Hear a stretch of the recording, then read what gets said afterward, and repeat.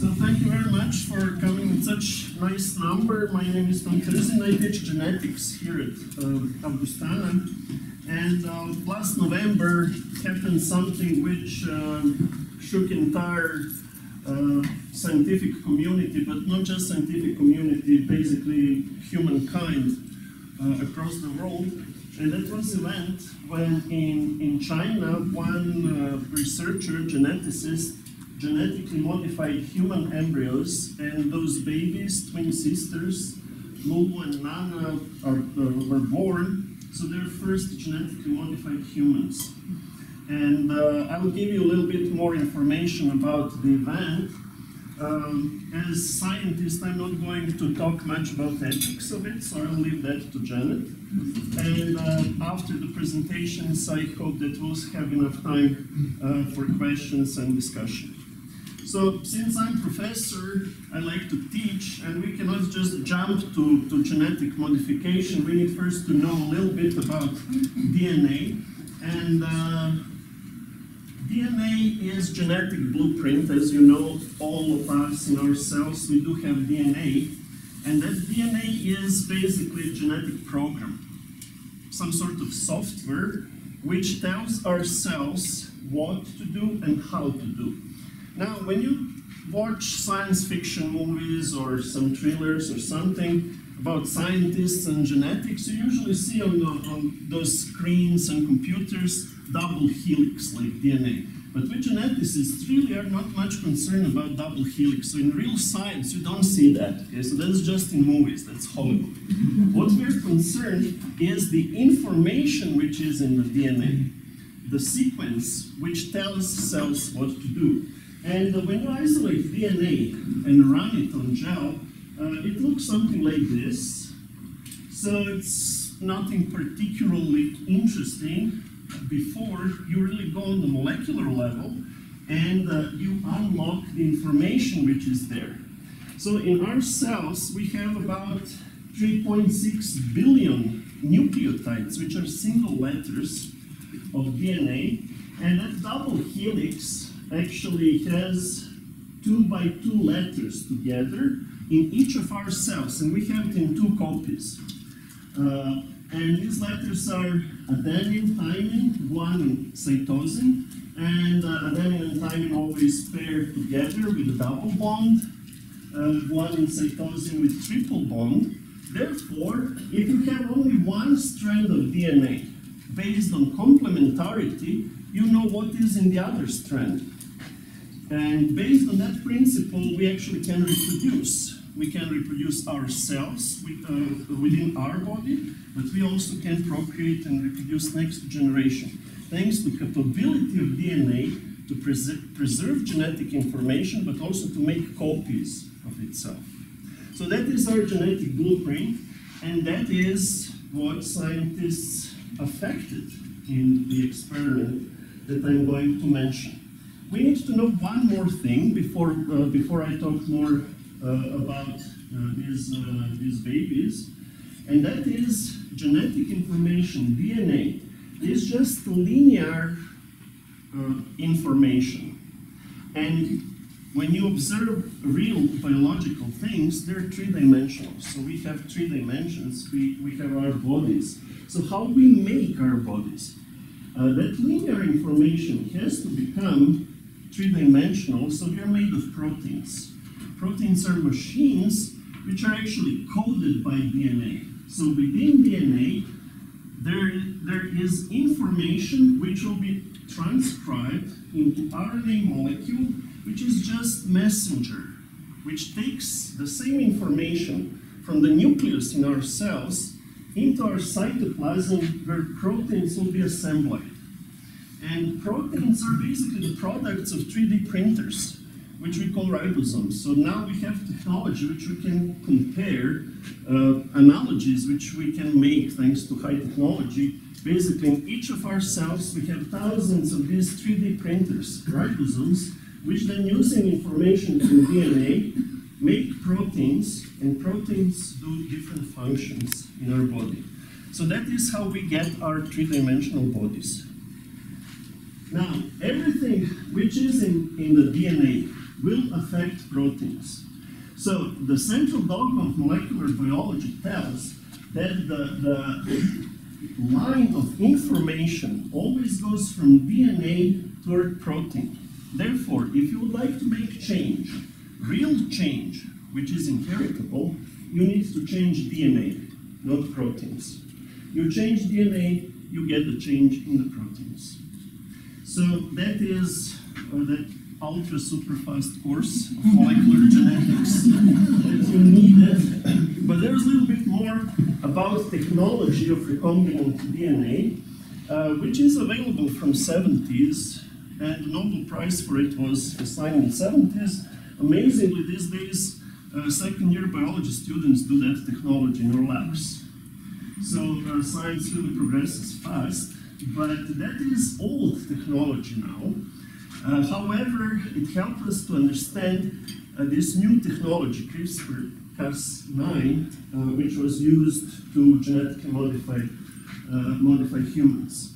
So basically, you can use DNA, and in this case, it's circular DNA. It's still double helix, but that double helix is closed in a circle. Uh, you can use different molecular scissors, which we call restriction enzymes, which cut DNA on the exact sequence. Among these 3.6 billion letters, that sequence is preserved. And the sequence of letters uh, can be recognized by these scissors. So there's about 200, maybe more, uh, isolated scissors from different microorganisms. And these scissors can cut DNA, and then you can recombine DNA of different organisms. You isolate DNA from one species, and from another species, you cut it with the same scissors, and then you get sticky ends because of complementarity of DNA. You know, A and T recognize each other, C and G recognize each other. Therefore, you can recombine DNA molecules from different species. And uh, you can grow them in the, in the bacteria, like in E. coli. So that is old technology, which is sufficiently powerful to give us genetic modification. Just to show you one example, uh, the gene from jellyfish and from some other organisms which have, for example, bioluminescence, they can produce light. Uh, you can transfer their gene into completely different organism using this recombinant DNA. And uh, these pigs look pretty much normal with the exception that the, their noses are a little bit yellowish, but when you put them uh, in the dark, they're actually fluorescent. They're glowing, and uh, I call them, call them Halloween pigs. it's genetic modification which allows us to place genes from different species and recombine them. Now, what happened in China in November is not placing uh, genes from different species, but you can use the same technology of cutting out genes or adding genes within the species. You can enhance some features of species, you can eliminate some sequences, in other words, you can do editing. It's like having text, so you can edit that text using different scissors. Uh, the technology which was used, uh, that Cas9, CRISPR-Cas9, was published in 2013 and was discovered uh, in, uh, on the University of Harvard. And this, this guy, George Church, is amazing uh, and probably leading geneticist today in the world. But we can argue that maybe he gave us technology similar to atomic bomb in, physics. So uh, we'll see what, what future will, will tell. But basically, in, in their abstract, they defined the meaning of actually abbreviation for that technology, CRISPR-Cas9, which stands for, for uh, clustered regularly interspaced short palindromic repeats. Uh, now, what that means, I'm not going to go into details, but this is groundbreaking paper from 2013, published in Nature Methods where they gave us this technology. And technology is in broad use. I'm not going to go into detail and explain exactly how everything works, but you use molecular scissors, same as re restriction enzymes. However, restriction enzymes have the limitation because you can hit on the sequence which is already there and you have limited number of scissors that you can use with regular uh, genetic recombination uh, technology, the DNA recombinant technology. Here, what is different, you're using small, small RNA molecule which you can artificially synthesize. And as you remember, DNA, RNA, protein, so the, uh, RNA is messenger, which is complementary to DNA. So basically, you can design which sequence you would like to target. Any sequence of any organism, now we have the ability to edit it. So you just design proper RNA molecule, and scissors are attached to that RNA molecule, and they will cut DNA, and then later, either through homologous recombination or non-homologous end joining, which is DNA repair mechanism, you can either add some new sequence or replace sequence within the DNA, or you can delete it. So we have now very powerful technology.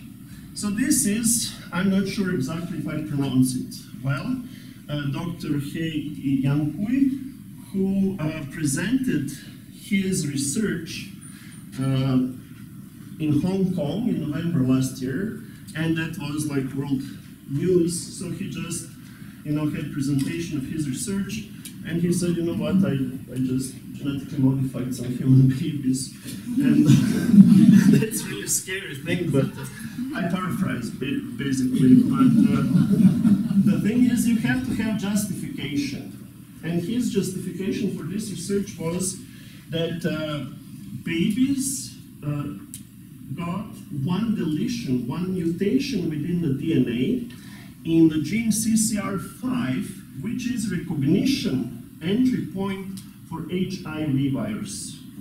Therefore, these genetically modified babies are resistant to HIV, HIV.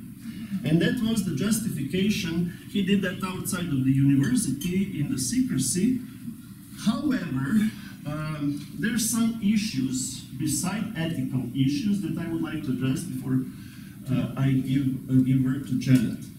Uh, first thing is that he did that allegedly to help babies whose father is HIV positive to be sure to get babies which cannot get uh, infection.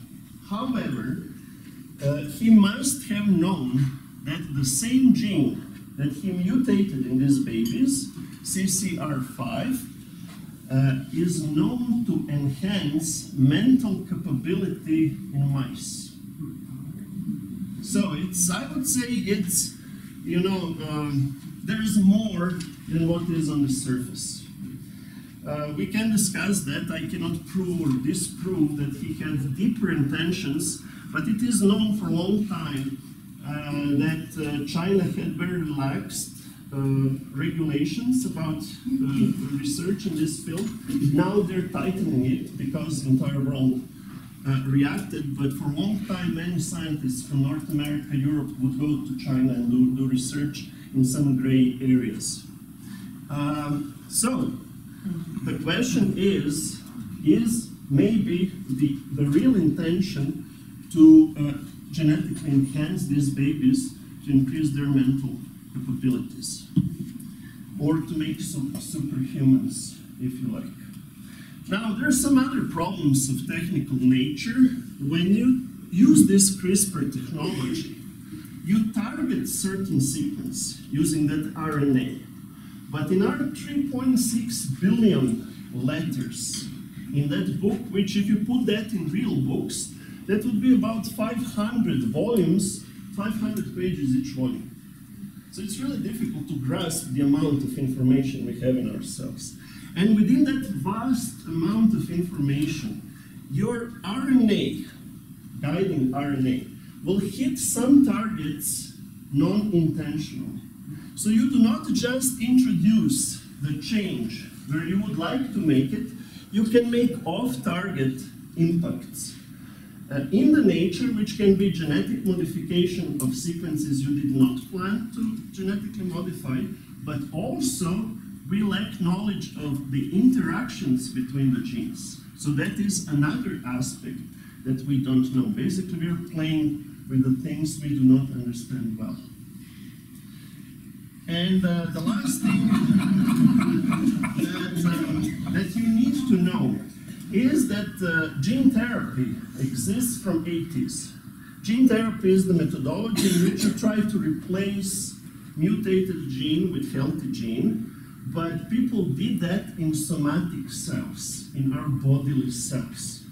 However, besides somatic uh, cells, we have our germline cells.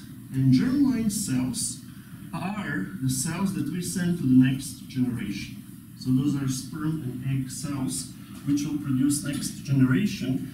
And the problem is that in the case of these two babies, Lulu and Nana, uh, genetic modification was done on stem cells. So stem cells are early cells which have capability to produce any tissue in our body. So early embryos were tampered and in these early embryos, there are also stem cells which will produce germline. Therefore, these babies are genetically modified not just somatically, not just for their generation, but they, uh, uh, they now carry genetic modification which they will pass to the next generation if they get uh, their children. So that is the problem about that. And the last thing, just little piece of advice as geneticist, You know, people are concerned about identity theft. And you know, when your credit card is stolen, you immediately call, you know, to cancel it and stuff. The thing is, you can replace your credit card, but you cannot replace your DNA. You have your DNA for whole life. And everywhere now are advertisements to do all these kinds of cool analysis to see about your origins and stuff. Uh, I would suggest, on my humble opinion, uh, that's risky game to play. If you give your DNA, uh, you know, it's very difficult to erase it. So some people try to revoke it, but uh, it's very, very difficult. So uh, even if it's partially done, that DNA remains in the possession of somebody, and you, that is your genetic identity.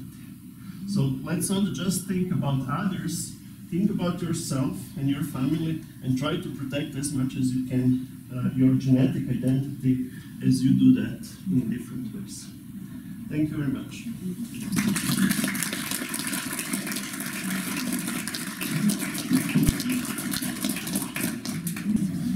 So thank you, everyone. I um, um, I'm not going to uh, try and convince you or tell you to adopt my position or tell you what I think, but I'm going to raise some um, issues that we need to consider when we're thinking about, ethically thinking about um, genetic engineering. So there's ethical issues with any kind of um, gene editing, but let's uh, pointing out what uh, Tom brought up. In the case of somatic gene therapies, that involves modifying um, a person's DNA to either treat or cure a disease caused by a genetic mutation. Um, and these are the three ethical issues that are involved. In somatic uh, gene therapies, the scientist can get the person's informed consent. Um, the gene editing affects only their particular body, so only one body. And finally, the intent of somatic gene therapy is to fix or um, ameliorate an existing condition. In other words, it's therapeutic, okay? And these are exactly the issues that need to be uh, considered when uh, we look at germline editing. First, I'll just point out to people that getting informed consent is a fundamental principle in bioethics. We shouldn't do to someone, so, um, sorry, we shouldn't do something to someone against their will or in their ignorance. And we see this principle at work in how we've written, written laws around um, medical treatment. The patient always has a right to refuse. Uh, in the laws we've written around um, medical assistance in dying, people have to be competent to consent. Uh, the laws we have around and participating um, in um, experiments, people have to consent and they have to have enough information to know what it is that they are consenting to. And in fact, we see the importance that we give consent um, in society in general. We think that it's wrong to have sex with somebody who has not consented. We think that it's wrong to use somebody's, to use Tom's example, to use somebody's data if they haven't consented to it. So, now, germline editing, right, consists of altering the genome such that it affects all the cells, because it affects stem cells, and stem cells can make any kind of a, any kind of cells. Um, and it also um, makes these um, alterations heritable because it includes affecting the um, potential sperm or potential egg. So, consists of editing the genes of an embryo. So here's our problem. Obviously, embryos cannot consent. That's the first problem. So, some people have argued that, well, you know, parents can consent to editing an embryo, because after all, parents often consent to all sorts of things on behalf of their child. Well, the first thing that I would suggest is we need to ask how informed parents can be given the novelty of this therapy and given its complexity, but I'll, I'll return to that in a moment. The bigger issue here has to do with the uniqueness of germline editing as a process. It's true that parents do consent on behalf of their children, right? And we see nothing morally suspect or um, unreasonable when they do so. So parents consent to medical procedures for their children, they sign them up for French immersion, they get their ears pierced, all sorts of things. But germline editing is different because first, germline editing is permanent. Right? Once it's done, consent cannot be withdrawn. And it is pervasive. In other words, it's total. Remember I said, Tom said, it affects every single cell in the body. So, you know, we do consent on behalf of our children, but we expect that as a child gets older, they'll gradually be able to give their own consent, first in concert with their parents, and then eventually by themselves. And in virtually all the examples that I um, gave you, um, it's true that uh, in some of my examples, what's done is done, but you can, for example, quit French immersion. You can let your piercings grow over, uh, grow closed. But if your genetic makeup has been changed as an embryo, you can't change it back, and it's a fundamental, it's a fundamental change. So this brings me to uh, a second issue. Not only is germline editing permanent at a fundamental level, it actually affects more than one body. Or at least I should put it this way, it affects more than one body if that child then chooses to go on and have children of their own. Right? So, in other words, the permanent genetic changes made to the embryo are passed down or inherited by any future offspring. So what this means is that when a parent gives consent for their embryo to be edited, she or he is not just consenting on behalf of their child, they're not just consenting for their child, they're consenting for their child's children, and for those children's children, and so on and so forth. It's permanent in a way that consenting to having your child's ears pierced or having their tonsils out, taken out, is not. So germline editing is an example of an individual uh, decision made by an individual about their individual family, but it has species-wide effects. And these species-wide effects are permanent and they're enduring. So, in other words, if these um, gene-edited children have children, it will affect eventually the entire human species. Okay. Um, what about the third issue I mentioned, which was that somatic gene editing is therapeutic, it's to fix or ameliorate an existing condition. But germ, germline editing is what philosophers call an enhancement of a genome. Is that what you biologists call it as well? An enhancement? Yeah, okay, all right. So, in other words, germline editing is not to fix something, but it's rather, it's to improve the genes. It's not always easy to see this, but let's take a look at the case of the Chinese baby.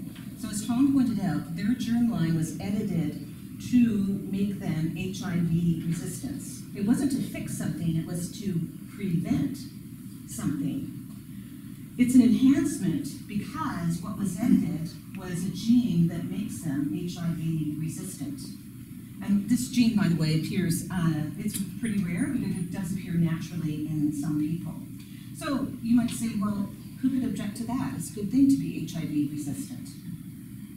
And I would say, yes, it is. And now I'm going to, um, I'm going to engage in some exaggeration, right? I'd say, yeah, it is good to make a baby HIV resistance.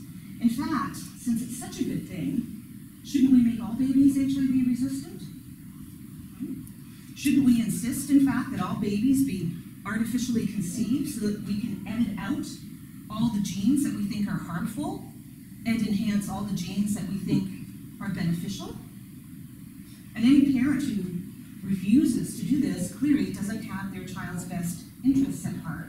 And, you know, then you're not fit to be a parent.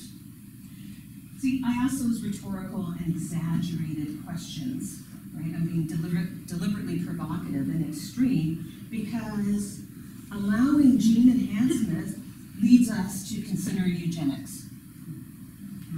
I'm not saying that enhancement um, causes us to become eugenists, but I'm saying that enhancement, gene enhancement, opens the door to eugenic arguments. And we have to be prepared to discuss eugenics and prepared to discuss where we're going to draw the line. So we might decide we'll allow um, editing, gene editing to prevent debilitating diseases, but then should we also maybe allow gene editing to um, prevent the potential to develop diabetes?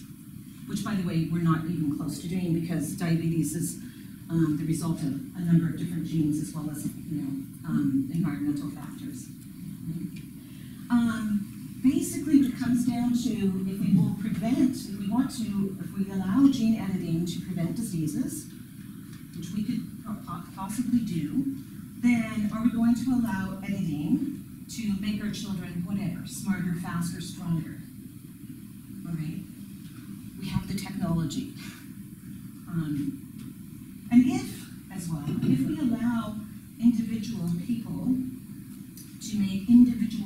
about their individual family, will we then disapprove of and censure parents who don't make the same decisions about their family? There's also a little issue, I'm just going to mention it in a sentence. If somebody wants to bring it up, we can talk about it. But there's also the issue of these um, therapies are expensive. So there's also issues of access to these kinds of therapies. Okay, so where does this leave us? One of the uh, fundamental press principles in bioethics is first do no harm. Right? This principle takes a slightly different form in environmental ethics, because germline editing has environmental effects. It's not just about humans, or it's sorry, it's not just about the individual human. It shades into environmental ethics. And the fundamental, the, the form that first do no harm principle takes in environmental ethics is the precautionary principle, which is that the introduction of a new process or a product whose ultimate effects are in dispute or unknown should be resisted. So, in other words, this fits in with what Tom was talking about, about how little we know about what it is that we're capable of doing. So in other words, when we don't know the ultimate effects of a new process or a new product, we should exercise caution at least to the extent that we're reasonably sure that we're not going to cause harm. In the case of um, germline editing, we already know some of the risks. We know that there's a very high risk of off-target impacts, as Tom is pointing out. Um, we also know the effects, whether they're good or bad, but we also know that the effects are going to be permanent. We also know that whether uh, we do not agree about what counts as eugenics, we know that the effects, whether they're good or bad, are going to affect the entire human species, not just that individual child or their individual family. So, one of the things that I found most distressing about what happened in China is those parents, when they were giving consent to have this done to their embryo, they were consenting on behalf of all of us, right? But it's easy to see this as, well, it's purely individual because it was their embryo, right? But it's our species. So, one thing that I would suggest is that it has to be a social decision. So, uh, this is the situation we're facing and in which we have to make ethical decisions as individuals and as a society. We have very little knowledge, particularly with regards to long-term future effects. And secondly, the consequences of making a mistake are permanent and they're going to be species-wide. So the stakes are really high. Thank you.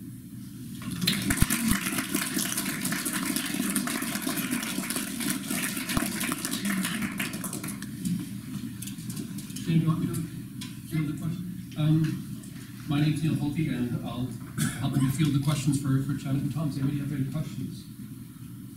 Oh, know, that was really great, both of you. Um, I really like the way you set out criteria for evaluating ethically whether or not this, this is, in fact, this action is ethical. But I'm, I'm just curious because industrial agriculture has been modifying genes in non-human animals for some time.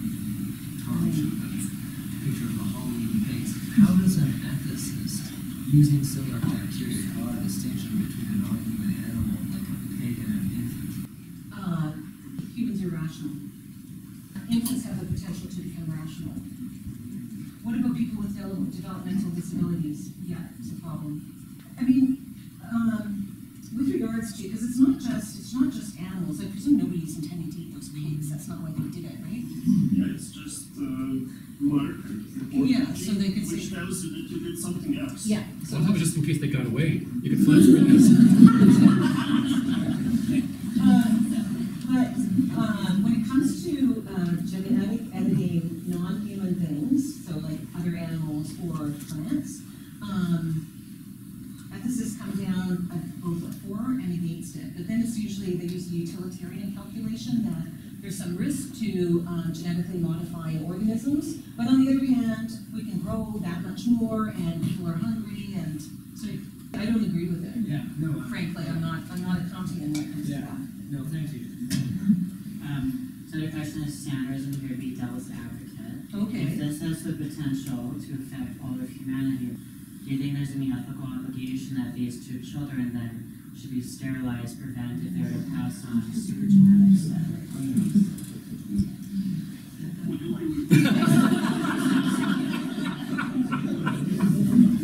this is, I mean, yeah, I'd have to think about it, but what I, what I do know is, see, do you see how quickly we run into eugenics, right? Because that is, we're talking about eugenics there, and of course, the people who practice eugenics, like for example in Canada, um, excuse me, had all sorts of, they, they, they were trying to do something good, so, yeah, okay, Tom. Yeah, so um, eugenics is something that usually people relate to Nazi Germany and you know Second World War, but it's less known that it's ongoing thing.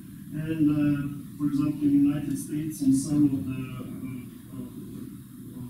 States, in some of the uh, of, of, states, until 1977, they would uh, forcibly sterilize certain categories of, of people.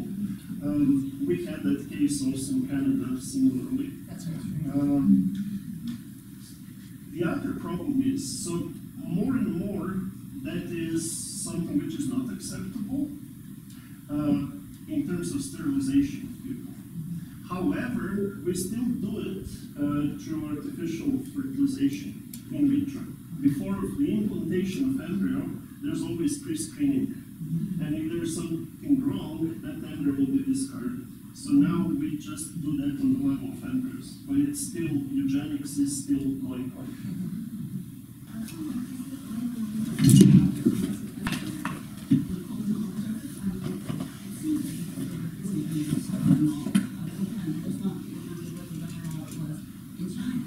parents and the scientists and so on, do they, um, go through all the consequences? Uh, you know, when you sign something, uh, for example, some therapy or something, epidural, for example, uh, then they say this can go wrong, this can go wrong, this can go wrong. So can on, on the level of medicine of entire body. But what is happening with the molecules, they're just learning. So there are millions of interactions of different genes, and we just start learning. So they cannot tell you what the consequences will be before you actually do experiments. Experiments were done on mice, but not on humans, and the wiring of these genes is different in mice than in humans. Because now we know that it's not about the number of genes, but how they work together. So we have the same, pretty much same number of genes as mice have, yet we have completely different capabilities. I mean, I cannot squeeze myself in the, in the wall, but they cannot do what I can do, uh, with the same number of genes. So therefore, the gene regulation is completely different in different organisms, and since this is the first time not in humans, we cannot tell. One of the things that I understand about genomics, and Tom, you can correct me if I'm wrong, but there's some biologists who are thinking of the genome as its own organ inside the cell because it mm. responds in a particular way depending upon the ecosystem, the constellation of genes. And for the longest time in genetics, we've been looking at genes as being very individual. Now we're realizing that's that's too reductionist. It, there's an ecosystem, mm. and by changing one gene, as Tom was saying, there's other things that might be going on. So going back to another question, I never thought there was so much doping in the Olympics until around Ben Johnson. Now everyone knows there's doping in the Olympics from all over the place. So I don't trust people's ethics to necessarily stop it. Because if you're gonna be able to modify genetics, there will be people who will be doing it to get ahead of somebody else. And at that point, you don't have the ability to stop it. It's already, it's already left the barn, so to speak. So, uh, as we deal with this as a social issue, because it absolutely is a social issue, um, how do we, how do we prevent it from the black market again? And, and how does society deal with it now? So, because I'm, I'm assuming there's only a small number of people who can actually do this sort of work, but I don't know that for sure. Both of you use the term species-wide, uh, and it's intriguing you use it in somewhat different contexts. Could you elaborate on that, please? That is the event which affected one family right now. But when we go back in the history and do genetic analysis of mutations of different population, entire humankind actually drives the, the origin of only several individuals. We did not know that before genetic analysis. Now we know that all of us, the entire world, are offspring of only several individuals. Now, we don't know how far they'll go as species, but let's say in 100,000 years, how big part of population will be the offspring of these two groups. Mm-hmm. So it is species-wide event. Just kind of following that, like God mentioned that in the end, the world would destroy themselves. Could this have the potential, or in the end, man will destroy himself? Yeah, I mean, Could this have the potential? so there's always, you know, there's always people who observe these events, what is happening in the world, and there's so many different, you know, titles, and you, you read newspapers, and it looks like doom- doomsday is really, really near. But when you go back, you know, that story is as old as humankind. Uh, the problem is we have exponential growth of knowledge today. That is true. So something is different than in previous times. We do have exponential growth of knowledge, but we do not have exponential growth of ethics. Well, and I'll, I'll just put another little twist on that, because sometimes, I don't feel this way, but sometimes ethicists get irritated that, say we don't have enough ethical, or that we don't have ethical knowledge, and we do have lots. The problem is, we don't all have the same ethics. Take, uh, the other side of the coin, um, where if we have the tech, we, we, we have the tech, we have the technology and we've used it to remove, um, smallpox from our society, right? If we have the technology to remove something like Huntington's from our society, aren't we morally obligated to do it? Yep, that was exactly what I was saying, that this is what, and so it's partly this um, eugenics. This is what we, we have to be prepared that that's what we open ourselves up to. So that, for example, um, I'll use a really contentious example, but, um, there are some people now who would say, if you, um, are pregnant and you know you're having a Down syndrome baby, you have a moral obligation to not bring it to term. Right? So with Huntington's, I totally get it, but we have to be prepared then to talk about, well, are we going to allow some people, uh, who, for whatever reason, object to having their embryo tested for Huntington's, or they don't object to that, but they will not, they will, they will carry it to term. I, I think it's complicated too, when you start thinking about the, the genome interactions. I can't forget what genetic disease it is, but there's one debilitating, physical debilitating genetic disease that's associated with high intelligence. Mm-hmm. So if you get rid of that, you also get rid of the other thing too. And I think it's kind of saying, you know, we don't know everything about the genome yet and how it interacts. So, in response to some of these questions, I'm curious to hear each of you mention quickly, what, what has been the history of ethical thinking along these lines? Because as both of you pointed out, this is not new technology. Um, the ability to do this has been around for a long time. We knew it was coming to this, and I agree with Tim, the cat's out of the bag. It's gonna keep happening. This technology is gonna continue to advance whether we like it or not. So, over the last thirty to forty years, as this technology has what has the scientific community said about the ethics of this? Have international organizations made official statements about Oh, yeah. integrity? And so how has that unfolded? I know that's a big question. I'll just say uh, one technical thing about human embryos. Whether you do research in stem cells or some other related uh, related area, you can do research in most of the countries. You can do research on human embryos until two two weeks old, because consent uh, is that uh, these embryos can produce single human, but also can split in monozygotic twins. Therefore, it's not defined if it's human or not. And uh, I mentioned that in my, my classes in genetics. Uh, I don't understand that, uh, you know, justification, and I do not accept that justification, but that is the practice. So in most countries, people do experiments on, on embryos up to two, two weeks old, then they do abortion. Uh, my my point is, okay, so you kill at least one human, future human being, or maybe more if they'll all be twins, right? So I don't see that justification, but that is practical thing which is going on. Um, as Tom mentioned, uh, the fellow who developed this church, um, is at Harvard, and so Harvard, after, uh, the news broke from China, Harvard, um, uh, put out a little slim volume, um, where they have some of their own faculty, so they're bioethicists, people from medicine, so on and so forth, and they're, uh, responding to this, and their consensus seems to be, um, proceed with caution. We have regulations where there's um, some really enormous benefits, potential benefits to this.